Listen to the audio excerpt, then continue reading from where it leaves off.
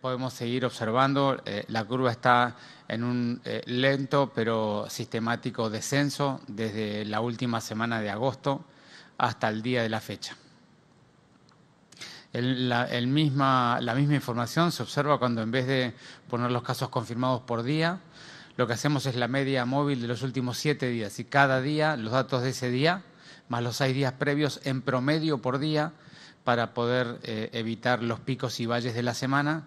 Allí podemos ver que desde el primero de septiembre hasta el día de la fecha, con subidas y bajadas, pero siempre con una tendencia al descenso, hemos pasado de unos 1.300 casos promedio por día a unos entre 700 y 800 casos promedio por día, es decir, que el descenso ha sido significativo hasta el día de hoy. Comprendemos eh, perfectamente no solamente la situación económica de los jardines, sino además la situación sanitaria de los niños eh, y estos son los dilemas que hay que gestionar permanentemente con esta pandemia, ¿no es cierto?